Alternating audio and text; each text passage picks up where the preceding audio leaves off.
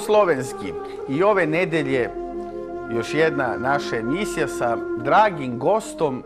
Kada kažem dragim gostom, pratim njegove emisije, to je moj kolega, a sa druge strane poznato je da u, u emisiji Istine, kakva je emisija samo slovenski, e, imamo za cilj da nam dolaze u goste mladi budući lideri u našoj zemlji, mladi novinari, dakle jednom reču budućnost Srbije.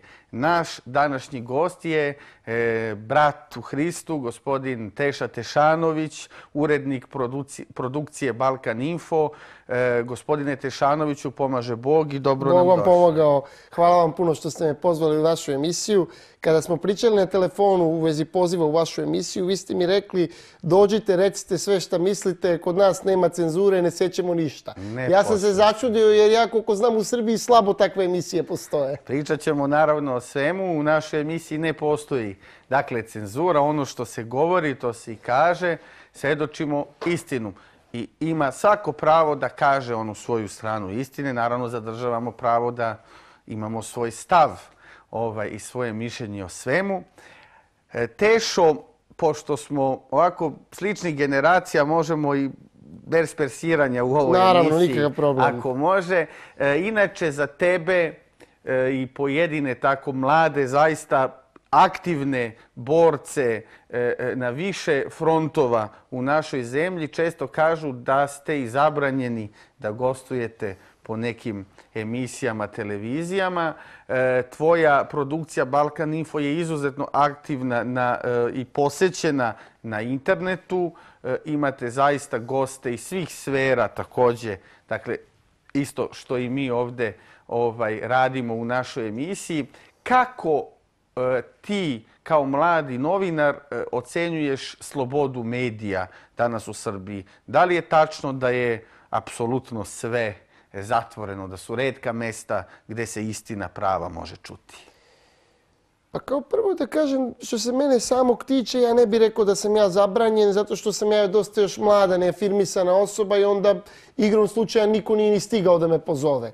Međutim, što se tiče drugih e, ličnosti, e, to zavisi od e, tipa medija, da li je štampani, da li je u pitanju televizije i tipa gosta koji dolazi.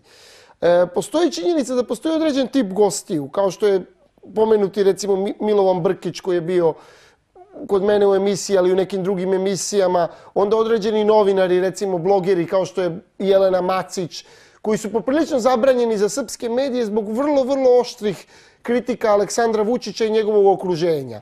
Međutim, e, što se tiče ostalih ljudi kojima nije baš fiksacija toliko na Aleksandru Vučiću, e, mislim da ne postoji što se njih tolika cenzura u, ne postoji tolika cenzura u srpskim medijima. Razlog za to je zato što je sadašnji režim Srpske napredne stranke drugačiji od režima demokratske stranke. Dok je režim demokratske stranke se trudio da ideološki suzbije patriotsku misao, zabranjujući da se govori na televiziji javno protiv Evropske unije, da se iznose proruski stavovi, e, strategija naprednjaka je malo ipak drugačija. Oni će vam dozvoliti da govorite za Rusiju, da govorite protiv Evropske unije, da pričate i protiv NATO, a sve dok ne dirate Aleksandra Vučića i njegovo okruženje. Tako da u odnosu na period eh, vladavine demokratske stranke, ono što se promenio je samo metod cenzure, ali cenzure tu svakako postoji. I ona je oličena, kao što svi mi dobro znamo, u finansiranju medija i sličnim stvarima, jer mediji koji bi preterano krenuo da napada premijera i njegovo okruženje, ne bi mogo da dobije oglašivače, a znamo i sami da se svi mediji u Srbiji jako teško finansiraju, svi su ono knap. Tako da opstanak medija u Srbiji ovakvi kakvi jesu je doveden u pitanje sa politikom sadašnjeg režima Aleksandra Vučića. Kada smo, pomenuli smo gospodina Milovana Brkića, hoću baš da se nadovežem, ja sam ga također pozvao u našu emisiju i nadam se da će doći. Vremenski se nismo, samo termine nismo uklopili dakle, do sada... Eto da ne priča više da je zabranjeno. Za, njegovo gostovanje, baš zato da bi pokazali da i na ovoj televiziji apsolutno niko nije zabranjen, da svako ima pravo da kaže svoju stranu priča, ali želim baš da, da prokomentarišem, eto, kažu list protiv mafije, jedan od najzabranjenijih novinara, gospodin Brkić, koji je napisao, ja sam to proveravao kasnije zaista iz, iz više izvora, napisao je, govorio je i protiv Tadića, rekao je da je Tadić e, zaražen HIV virusom, e, to svi možemo da vidimo i na, i na internetu. Dakle, to je govorio. Znam da je pouzdano, poznajem ljude sa prostora Kosova i Metohije koji su koji su e, apsolutno na jednoj srpskoj svetosavskoj strani i o kojima je zaista pisano niz laži u, u, u tom e, ovom časopisu dvonedeljnom, ako možemo da kažemo da je časopis, ali nije, to je dvonedeljna novina ovaj, e, tabloid. E, pisane su zaista razne neistine oko dodele socijalne pomoći Srbima. Svi znamo na koji način ljudi sa Kosova i Metohije koji su izgubili posao, dakle koji su ostali bez svojih radnih mesta na prostoru Kosova i Metohije 1999. godine imaju pravo uredbom e, tadašnje vlade gospodina Đinđića e, i sve vlade su to prosto e, opet donosile istu odluku, produžavale ta, tu uredbu vlade Đinđićeve da E, svako dakle, ko je proteran ima pravo na minimalnu socijalnu pomoć, socijalno davanje od između 8 i 11 hiljada dinara. Znači, o, o, protiv toga su e, također pisale, ne direktno protiv toga, ali optuživali neke ljude koji to primaju kao da su oni povezani sa nekim opštinskim strukturama, što nema veze. Eto, čisto dajem konkretne primere. E, e, jedan od novinara tog lista, gospodin Ivan Maksimović, evo ja to kažem kao kolega, koji piše sa prostora Kosova i Metohije, prodao je sve što ima šiptarima, dakle njegovi roditelji su u Lapljem selu na Kosovo i Metohiji prodali sve njive, sva imanja pored puta e, ovaj, šiptarima i došli su u Kosovsku Mitrovicu i sada nikada više ne dolaze južno od Ibra i sada e, su veliki Srbi i velike patriote optužuju druge. Kako u svemu tome, evo mi kao mladi ljudi koji ipak trebamo biti i neki primer e, srpske budućnosti i po našem ponašanju i po vladanju,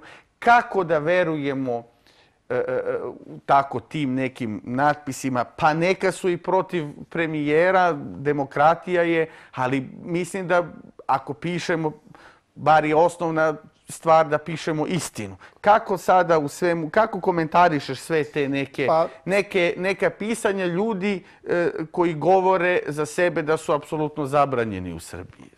Pa, pisanje tabloida jeste dosta kontraverzno jer uredništvo tabloida ima običaj da stavlja tu poluproverene informacije, da neko izmisli informacije pa im pošalje pa oni objave.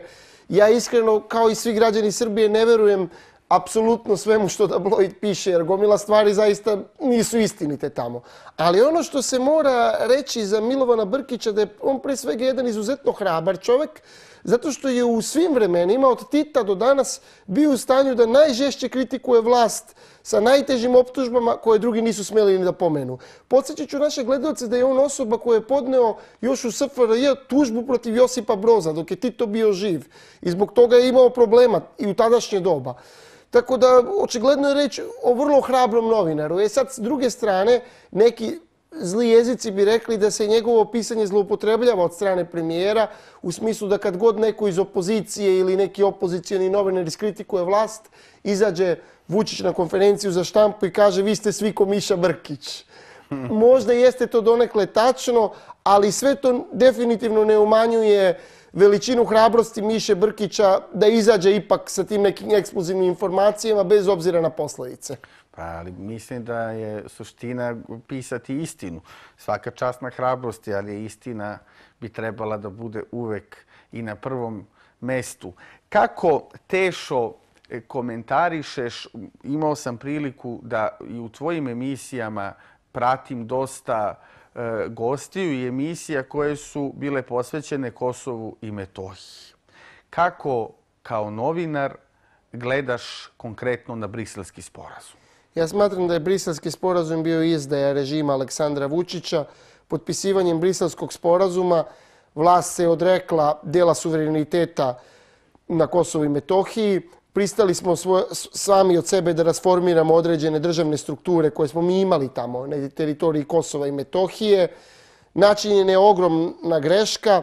Zajednica srpskih opština koja je bila kao neka vrsta šargarepe na kraju štapa obećavana Srbima za uzad za potpisivanje tog sporazuma još nije ni formirana i pitanje da li će biti formirana, a također i pitanje kakva će ovlašćenja imati kada bude formirana, jer nama zajednica srpskih opština i ne znači ništa ako to bude samo neki maltene MVO koji će to tako da raspravlja o stvarima, da organizuje neke smotre kulturno-umetničkih društava.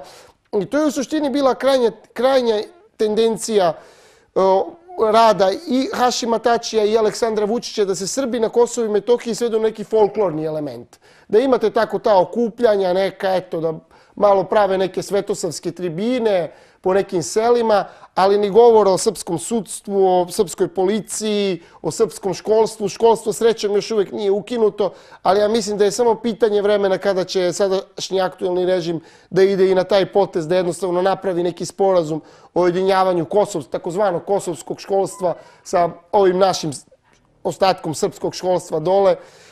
Naravno, također treba i pomenuti, čisto da bi bili fair, da briselski sporazum nije jedina izdaja Kosova i Metohije koja se desila poslednjih godina, da je vrlo bitno što je demokratska stranka prenela pregovore o Kosovu i Metohiji iz Ujedinjenih nacija na nivo Evropske unije i da još za vreme demokratske stranke su bili čuveni famozni pregovori Borko Edita Tahiri, koji su prvi recimo priznali granične prelaze, onda stvorili probleme vezano za dokumente i slično. Priznali lične karte Republike Kosovo Albancima sa prostora Kosova i Metohije. Upravo tako. Tako da je briselski sporazum suštinski gledano samo nastavak onoga što je radila demokratska stranka. U tom smislu smatram da ni vlast, ali ni dobar deo opozicije nije nevin što se tiče izdaje Kosova i Metohije. E sada, šta je tu veliki problem? E, problem je što je to povezano i sa pitanjem cenzure u Srbiji. Zašto? Zato što cenzura u Srbiji je sada se smanjila.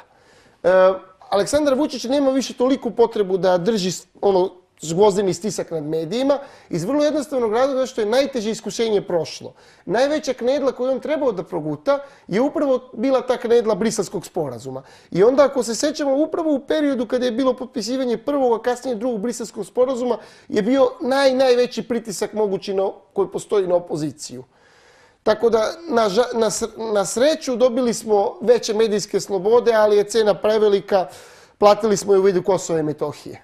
A reci mi, kada govorimo o Kosovo i Metohiji, e, mislim da bi trebalo, eto, zajedno da prokomentarišemo i činjenicu da su brisatskim sporozumom Srbi koji žive e, južno od reke Ibar, to je neka e, kvazi, da tako kažem, i nepotrebna geografska podela na Srbe u enklavama, južno od Ibra i Srbe severno od E, od reke Ibar koji žive u dosta slobodnijem duhu i zaista imaju veću slobodu kretanja sa obzirom na to da se naslanjaju na ostatak e, naše, naše majke Srbije.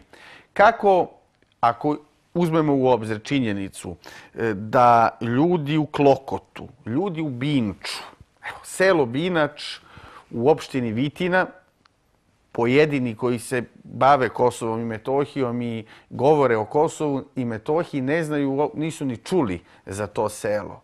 Tamo živi e, 50 srpskih porodica sa najvećim brojem dece u jednoj enklavi, okruženi najekstremnijim teroristima na samoj granici sa Makedonijom.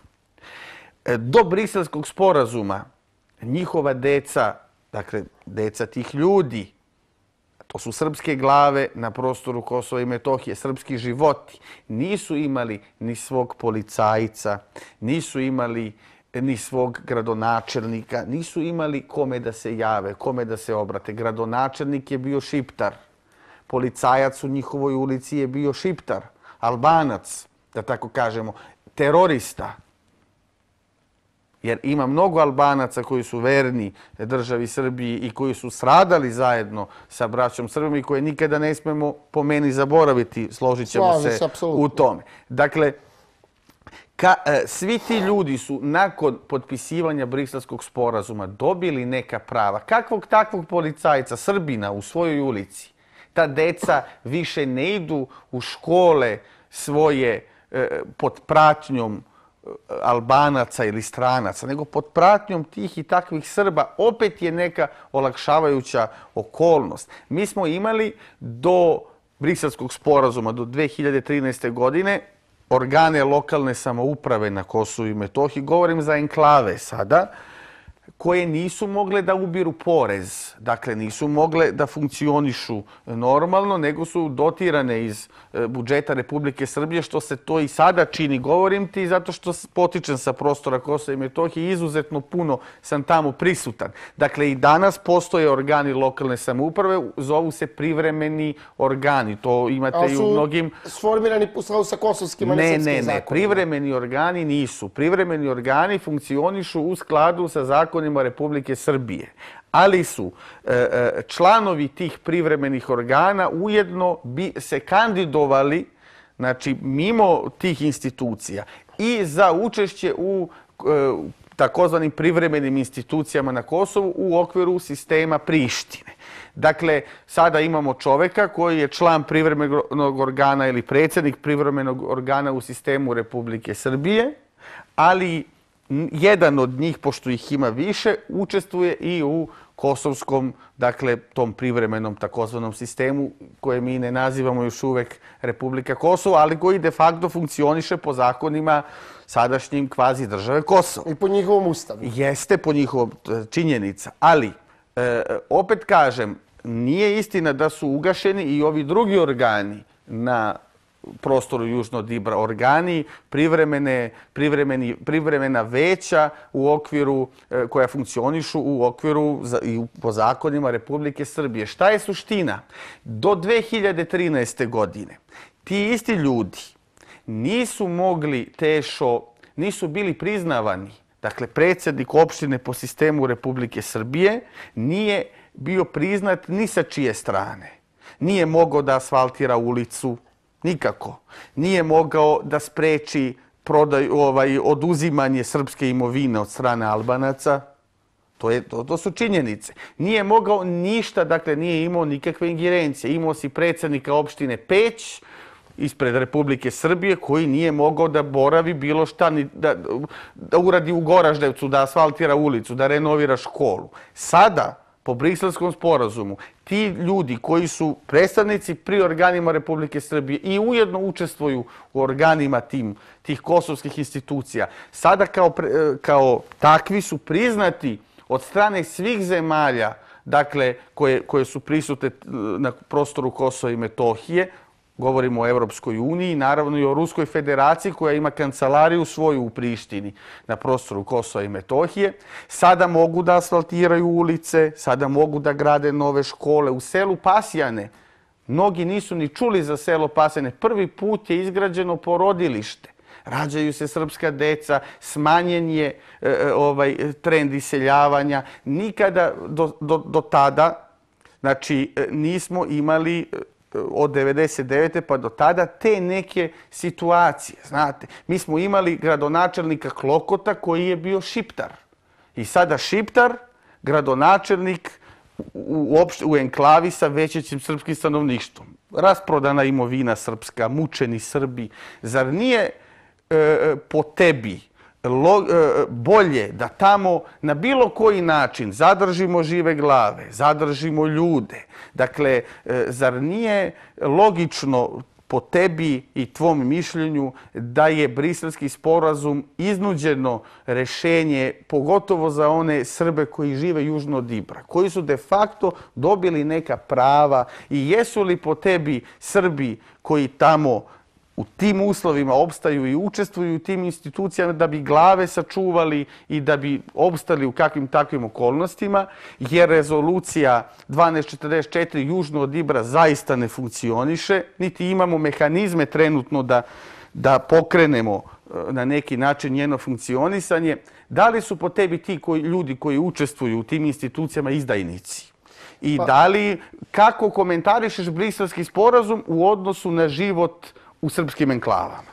Pa jedan Srbe na Kosovo i Metohiji ne mogu kriviti za ništa iz vrlo jednostavnog razloga. Ako se nešto odluči u Beogradu, to se odlučilo u Beogradu i ne mogu Srbi sa Kosova da budu veći Srbi od Beograda. Iz vrlo jednostavnog razloga zašto je vlast u rukama Beograda i u rukama privremenih, kao što si rekao, vlasti organa u Prištini. Ali ono što tu postoji e, kao problem jeste da što su Srbi na Kosovo i Metohiji zloupotrebljeni od strane ove vlasti, zloupotrebljeni da bi se ova vlast odrekla od dela suvereniteta. Jer u Tačno je, možda je... Mi ga nismo imali ni pre briselskog sporazuma u pravnom u smislu smo ga imali, to je najbitnije. Pa imamo ga i sada u pravnom smislu, postoje organ. Odrekli smo se dela suvereniteta potpisujući sporazume sa samopriznatom vladom u Prištini. To je jedna od činjenica. A druga stvar, setimo se pre Blisavskog sporazuma. Kada se govorilo recimo o onoj čuvenoj porodici Petrović i Srpskoj liberalnoj stranci, svi su se slagali da su to izdajnici. A danas imamo takozvanu srpsku listu koja stoji u Kosovskom parlamentu, koja učestvuje u kosovskoj vlasti, koja je dala zamenika Tačija, a koju niko više ne zanima izdajnice. Da li se diskurs toliko promenio da nešto što je nekada bila izdaja i kolaboracija sad je postala normalna stvar? A da li je vama poznato, da li je tebi poznato tešo gde je i kako osnovana samostalna liberalna stranka? Da li ti osnovana je, je u Prištini od strane Tači? Osnovana je u, u kancelariji Kristofera Dela, tadašnjeg američkog predstavnika na Kosovu i Metohiji i ko iole malo poznaje gospodina, gospodin Slobodan Petrović je prognan čovek iz Prištine, bio je portir, običan portir. Znate, i osnovao je jedno udruženje raseljenih Srba sa sedištem u Nišu. Onda je ovaj, kada je odlazio da proda svoju imovinu na prostoru Kosova i Metohije, e, ovaj, je stupio u kontakt sa predstavnicima tih stranih organizacija, da sada ne dužimo i da mu ne posvećujemo pažnju, i u u ambasadi, dakle američkoj u Prištini, sklopljen je dogovor, naravno pod patronatom Hašima Tačija, da se osnuje ta samostalna liberalna stranka. I samostalna liberalna stranka je radila direktno po direktivi Hašima Tačija. Ono što je kazao Hašim Tači, to je i urađeno. Za vreme dok su oni bili u vlasti, dok su bili, dakle, Slobodan Petrović je jedno vreme bio i zamenik premijera i ministar lokalne samouprave u vladi Kosova, verovatno si to, verovatno si to ispratio. Ovo kao konstataciju govorim da bi mogli zajedno da prokomentarišemo. Srpske firme su se otimale, prodavale. Slobodan Petrović nije nikada digao glas, niti iko od a imali su i ministra za povratak. Imali su četiri ministara, tri ili četiri, zajedno sa Petrovićem u, u vladi Kosova. Znate, oni su direktno radili pod patronatom Tačija. Ako napravimo paralelu, sada ovi predstavnici koji su tamo slušaju Beograd, dakle slušaju našeg premijera, srpskog premijera, izašli su iz tih institucija kada se je pokušano da se otme trepča štetnim zakonom, izašli su, izlazili su iz institucija mnogo puta, dakle, dizali su glas e, na neki način. E, možemo li poistovetiti borbu samostalne liberalne stranke sa sadašnjom borbom srpske liste, dakle, na isti način? Ali kakva je razlika ako jedni i drugi deluju u skladu sa Ustavom Republike Kosovo? Kada jedni i drugi deluju u skladu sa zakonima nezavisnog Kosova, sede u istom parlamentu, Ali sede ne slušaju Kašima Tačija. Pa ja ne znam, Petrović je slušao Tačija. Pa ja ne znam, možda ne slušaju Tačija, slušaju Vučića, ali rezultat po Srbe je isti. Kakav je rezultat u praksi za ovo običnog stanovnika? U praksi je rezultat da su izgrađena porodilišta, nove škole, koje ranije nismo mogli da gradimo, zato što nismo imali srpskog gradonačelnika. O tome se radi. Vi niste mogli da gradite srpsku školu u Klokotu zato što je gradonačelnik albanske nacionalnosti koji ne da dozvolu. Odvoji država Srbija sredstva, prebaci opštini koja je postojala i sada postoji u okviru privremenog organa, krene da se radi škola, ovi pošalju policiju, nemo, ko ste vi, apsolutno. Dakle, o tome se radi. A sada je u Pasjanu se usred Pomoravlja koje je dalo najveći broj žrtava na prostoru Kosova i Metohije. Usred Kosovskog Pomoravlja se rađaju srpska deca. Izgrađeno je prvo porodilište nakon 1999. godine. Samo u Klokotu je izgrađen Srpski dom kulture. Izgrađene dve srpske škole, potpuno nove. Ja mislim da ni u većina gradova u Srbiji može da pozavidi na tako zaista divno e, izgrađenoj školi. Sve sad, opet je to finansirala Republika Srbija, ali je sada ima, imala mehanizam zato što tog gradonačelnika koga je, koji je po tom i takvom sistemu, više ne može niko da spreči da, da, da donese odluku da se gradi nova škola, niti može bilo ko da na to utiče ne znam, ali mislim da kada, opet da zajednički konstatujemo, mislim da kada govorimo o Kosovo i Metohiji, mnogi ljudi koji nikada nisu bili u Prizrenu, nikada nisu bili u Orahovcu, nikada nisu bili u Binču, Vrbovcu, Grnčaru, daju sebi za pravo da govore kako neko živi i kako bi trebalo da opstane. U, za, kakav, kakav smisao po tebi imaju pregovori ako tamo nema više Srba, ako se tamo isele? Pa stvari Ustavu. Trebamo po Ustavu Republike Srbije zaštititi suverenitet Republike Srbije na našoj celoj teritoriji. Ne, nezavisno od ljudi koji Evo, žive da tamo. Ti, da, si, da si ti sada na vlasti, šta bi ti uradio da pomogneš dakle, da, da, da Srbinu Binču, ima slobodu kretanja. Nažalost, vlast trenutno nije u mogućnosti to da uradi zato što je tamo trenutno okupacija. Ali ako je već okupacija i ako vlast nije u mogućnosti to da uradi, zašto je onda loše ako briselski sporazum shvatimo kao nešto iznuđeno, pošto nismo kao nešto privremeno i nešto najbolje u datom trenutku. Zato što je Ustav iznad svega, nažalost čak i iznad života ljudi. To je jednostavno osnovni pravni princip. Ne možemo se odricati pravnih principa, ne možemo se odricati teritorijalne suverenosti Republike Srbije na celoj teritoriji i ne, i ne smeju se potpisivati uh, protiv nezakoniti i antiustavni zakoni, antiustavni sporazumi kao što je brisanski Dobro, sporazum. Dobro, Ustavni sud Republike Srbije... Se je proglasio nedlažažnim, što je također kriminal od strane Ustavnog suda. To je kriminalni akt. U kom smislu je kriminalni akt? Pa kako Ustavni sud može da bude nenadležan? Ako nije nadležan za brisanski sporazum, zašto je Ustavni sud nadležan? Jer Ustavni sud može da bude nadležan posle toga za bilo šta, za bilo koji slučaj, ako u tom krunskom slučaju U slučaju sporazuma koji direktno zadire Ustav Republike Srbije, Ustavni sud se proglasi nenadležnim. Ja čak ne bi imao problem da je Ustavni sud rekao da je brisanski sporazum u skladu sa Ustavom Republike Srbije. Ja bi to poštovao. Ali činjenica da su oni rekli da nisu nadležni je ono što govori da, nažalost, trenutno i Ustavni sud je samo jedno od oruđa u, u rukama aktualnog režima. Ali ipak Ustavni sud Srbije u svojoj odluci, opet govorim, kroz dijalog jedan i, i ovu emisiju zaista posebno se radujem da je posvetimo kao dijalog dva mlada, dve mlade kolege. Ovaj, Ustavni sud je se proglasio nenadležnim ako ste ispratili tu to obrazloženje. E, pisalo je da je u pitanju politička stvar, dakle politička jedna odluka, ali je takođe navedeno što i danas na Kosovo i Metohiji funkcioniše, da je, dakle, zdravstvo nije samo prosveta još uvek u sistemu Republike Srbije. U sistemu Srbije, Republike Srbije je kompletno zdravstvo. Dakle, na prostoru Kosova i Metohije, kažem, grade se nova porodilišta, funkcionišu, plaćaju se ljudi iz budžeta Republike Srbije. Takođe, dakle, funkcionišu svi organi lokalnih samouprava vi u Štrpcu imate i srpsko javno komunalno preduzeće i čak se ubiraju i porezi tamo. Dakle, finans, fina, apsolutno je održiva lokalna samouprava ponovo u sistemu Republike Srbije. Imate poštu koja apsolutno funkcioniše. Vi iz Srbije možete poslati pismo čoveku u Kosovskoj vitini i on dobija, opet kažem, u sistemu Republike Srbije, ne u kosovskom sistemu.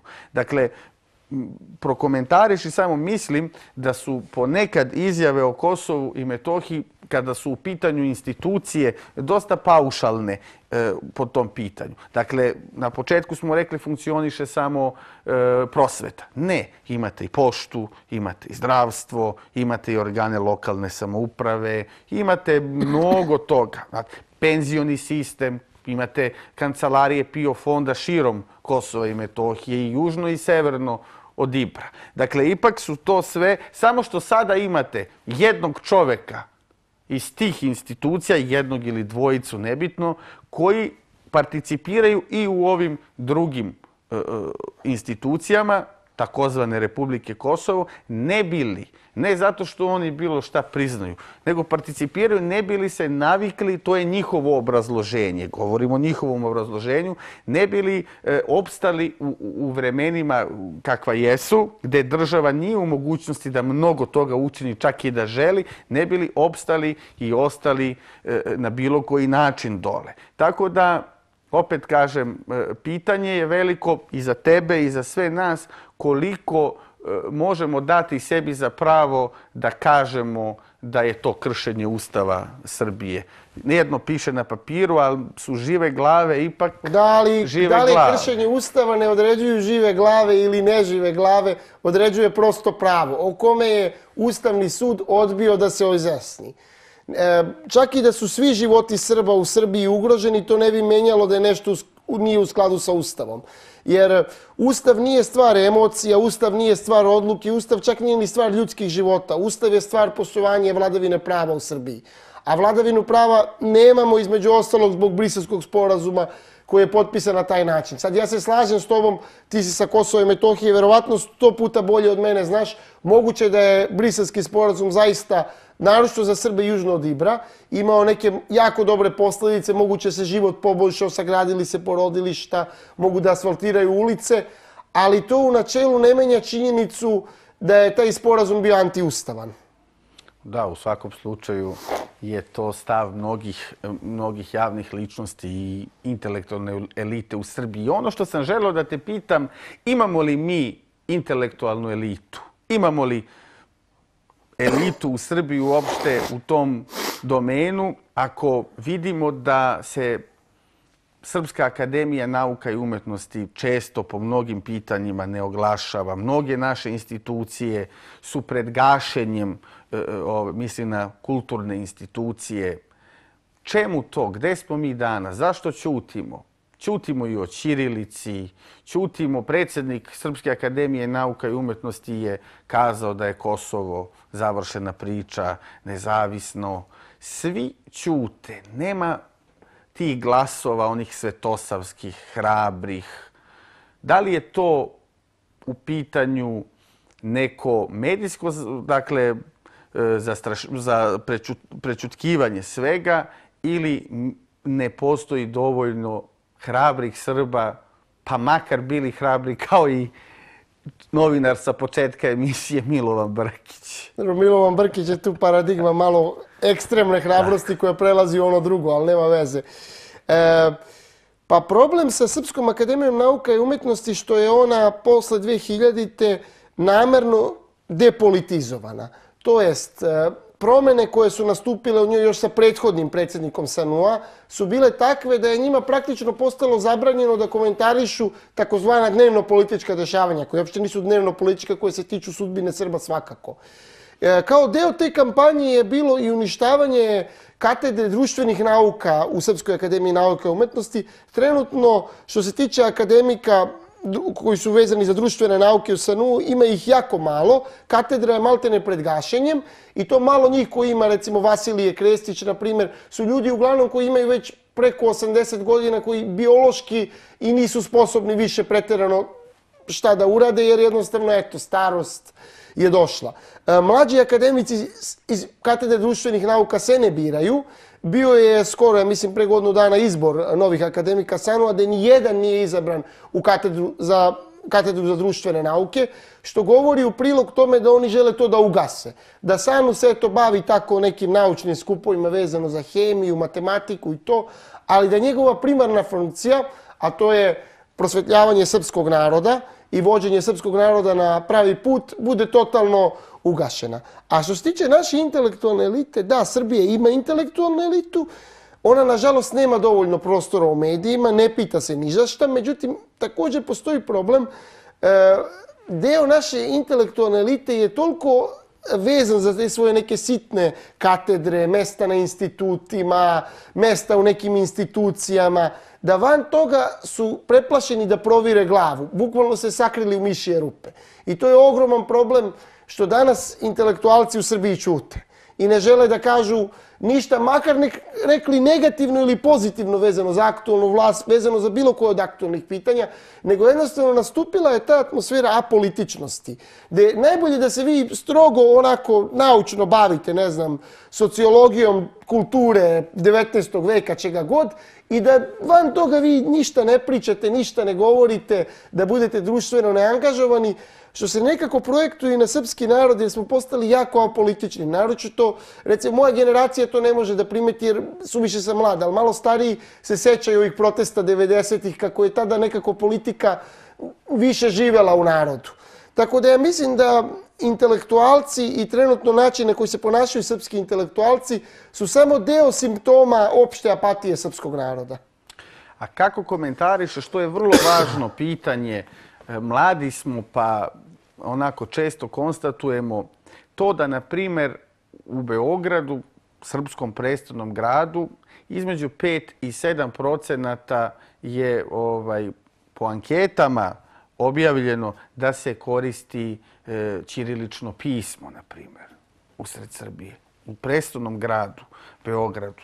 Preko 80% firmi u Srbiji čak e, i na po pitanju oglašavanja, dakle, uvek koristi latinično pismo. Opet, e, intelektualna naša elita, eto, to nije političko pitanje. To je jedno, po meni, pitanje našeg identiteta, našeg postojanja. Opet niko da se oglasi. Ja tu, kako se zove, prvi nisam pozvan da komentarišem, evo da budem iskren, Balkan Info u svojim logojima i introima zaista koristi latinicu. To su svi primetili. Iz vrlo tehničkih razloga u koje ne bi ulazio, a imamo određen deo publike koja je hrvatska i bošnjačka, pa iz tih razloga. Ali konkretno to vezano za firme i za Čirilicu, to je posledica titoizma. Zato što titoizam upravo zbog tog jugoslovenstva, želje da se približimo drugim narodima, da svi budemo jedno, je forsirao latinicu i u tom periodu je Čirilica poprilično zamrla. Moram čisto dati za pravo, učinjen je veliki korak 2006. kada je donesen novi ustav, kada je ustav ubačeno da je Čirilica zvanično pismo u Srbiji. Samo ono što je potrebno da institucije ove države malo više porade na tome da se ta odredba iz ustava bolje promeni, to je da se nekako te firme nateraju da prebace svoje e, natpise na Čirilicu, a onda ću ja da promenim natpis na Balkan Info na Čirilicu. Pitao sam te to baš zato što pratim e, emisije dakle, tvoje u produkciji Balkan Info i prosto sam video da se koristi latinično pismo. Da, to smo namerno uradili. Eto, to je... Ali ja privatno jesam za Čirilicu. Ja na mom Facebook profilu i na društvenim mrežama uglavnom koristim Čirilicu. To je urađeno iz vrlo jednostavnih tehničkih razloga, tako je moralo. Možda ćemo u jednom trenutku se prebaciti na Čirilicu, ne znam, ali svakako podržavam širenje Čirilice u Srbiji i nadam se jednog dana ću to ličnim primjerom dokazati. Nastavljamo emisiju nakon kratkog bloka reklama.